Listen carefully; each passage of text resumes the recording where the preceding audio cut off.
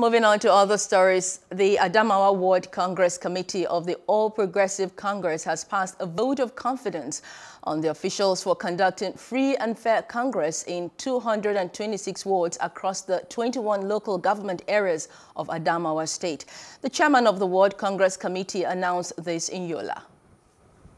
The chairman of the Adamawa Ward Congress Committee deployed to Adamawa State says the advice of the National Working Committee of the party for Congresses nationwide to adopt consensus method is for a good working relationship and unity of APC.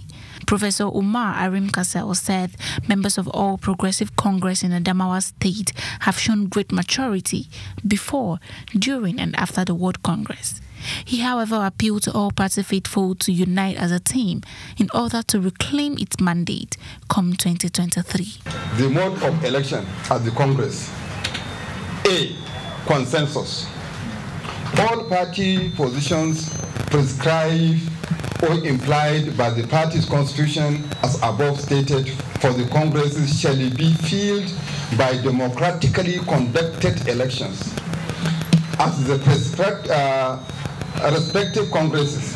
However, for peace and harmony, the party encourages emergence of candidates through consensus in the first instance, provided that where a candidate has emerged by consensus for an election position, a vote of yes or no by ballot or voice should be called.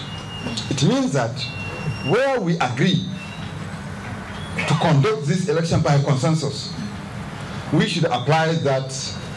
Are we all, do we all agree? Yes. If there's anybody who decided to say no, then we count how many say yes and how many say no. Secretary of the committee, Theodore Ekeji, says that the method adopted was free and fair.